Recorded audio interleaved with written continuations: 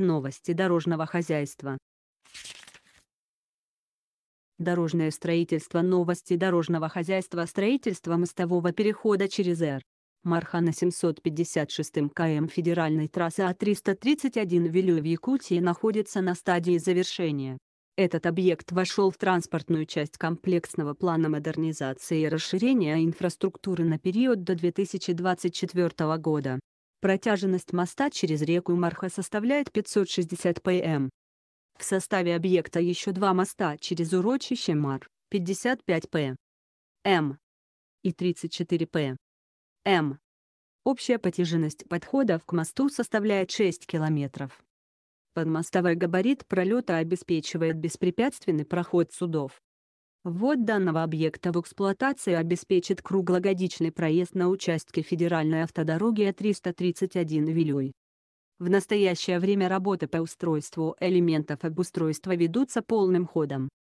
Продолжается установка барьерного ограждения, присыпных обочин, автобусных павильонов, ведется монтаж опор освещения, установлено 49 из 54 и устройство водоотводных лотков.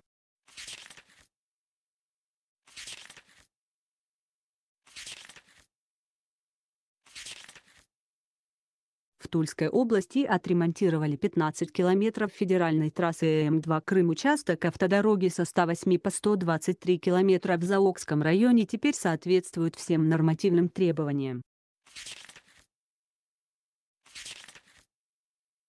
По заказу в клуб РДОР Москва-Харьков подрядная организация отремонтировала пересечение и примыкание, систему водоотведения, укрепила обочины, заменила дорожное покрытие, применив высокопрочный щебеночно-мастичный асфальтобетон. Верхний слой дорожного покрытия восстановлен также на 10 мостах и путепроводах. Для обеспечения безопасности установлены дорожные знаки, металлическое барьерное ограждение, нанесена горизонтальная разметка со светоотражающими элементами. Общая протяженность федеральной автомобильной дороги М2 Крым в Тульской, Орловской, Курской, Белгородской областях составляет 707 километров, 236 километров из них проходит по территории Тульской области.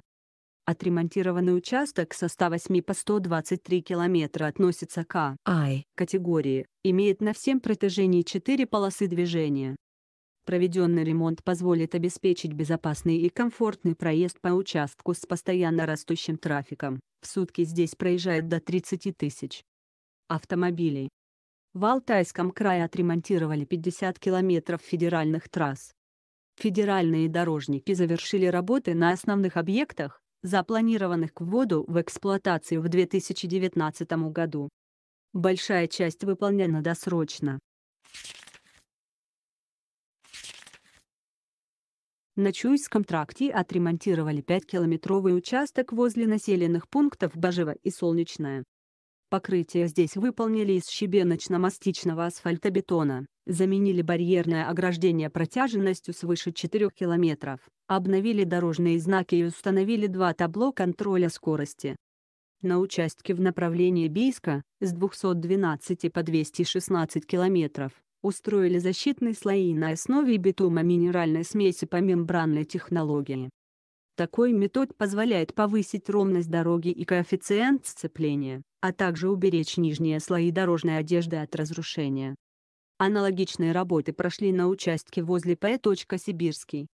На обходе Бийска в качестве защиты покрытия использовали шероховатую поверхностную обработку. На автодороге 322 Барнаул-Рубцовск границы с Республикой Казахстан тонкослойные защитные покрытия устроили на 12-километровом участке в Топчахинском районе. Ремонт прошел в Шипуновском, 166-173 километра, и Поспелихинском, 230-239 километров, районах. Здесь, помимо дорожного покрытия, выполнили восстановление и укрепление обочин. В целом в регионе ввели в эксплуатацию 50 километров федеральных дорог при их общей протяженности 638 километров. Продолжается капитальный ремонт искусственных сооружений. Работа на мосту через Большую речку закончит к концу ноября, мост через Ишу откроют для движения в 2020 году. Кроме того, до конца этого года завершат работы по строительству нового моста через реку Чумыш. Дорожники восстановили движение на всех подтопленных участках автодорог в Иркутской области. Сумма ущерба федеральной сети составила 124,5 миллиона рублей. Работы по ликвидации последствий ЧС ведутся с конца августа этого года и согласно государственным контрактам должны завершиться через неделю, 31 октября. В качестве межбюджетных трансфертов Иркутской области через Росавтодор выделено 493,9 миллиона рублей на восстановление дорог региональной и местной сети. Работы выполняются в восьми районах Иркутской области – Заларинском, Зиминском, Кутунском, Нижнеудинском, Тайшетском, Тулунском, Черемховском, Чунском. На автомобильных дорогах регионального значения с учетом второй волны паводка на данный момент полностью восстановлено 27 километров покрытия, 10 мостов и 19 водопропускных труб. На местной сети приведено в нормативное состояние почти 14 километров. Движение автотранспорта по всем дорогам восстановлено.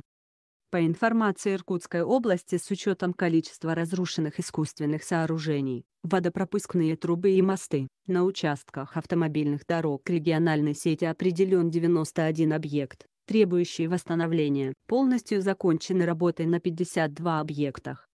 Из 137 поврежденных участников автомобильных дорог местного значения полностью восстановлено 30 участков.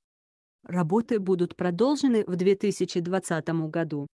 Подведомственная Росавтодоровку Прибайкалье и дорожные службы Иркутской области своевременно обеспечили нарушенное транспортное сообщение и продолжают вести планомерную работу по устранению последствий разрушительных наводнений и защите инфраструктуры в случае их повторения.